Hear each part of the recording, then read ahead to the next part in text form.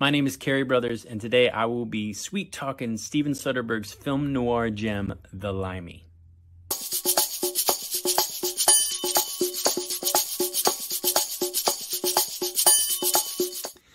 From the moment The Who's The Seeker begins on the soundtrack, from the moment Terence Stamp's British ex-con Wilson steps off the plane at LAX, this movie is a masterclass in style. In one sense, it's a very linear film noir about a bad, bad man who comes to town to get vengeance on the people who killed his daughter.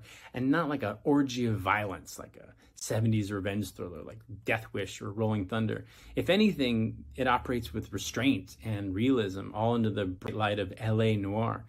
On the other hand, it's very dreamlike. Soderbergh uses memory the way it happens in your head. He'll start a line of dialogue in one location and end it in another location because that's how Wilson is remembering all this. Combined with memories of his past and future, it creates a rich inner life of a film noir character that we usually don't get. But he's still a badass. I mean, when he yells, Tell them I'm coming, spattered in blood, it is so awesome. Peter Fonda, Lesley Ann Warren, do yourself a favor. Check it out.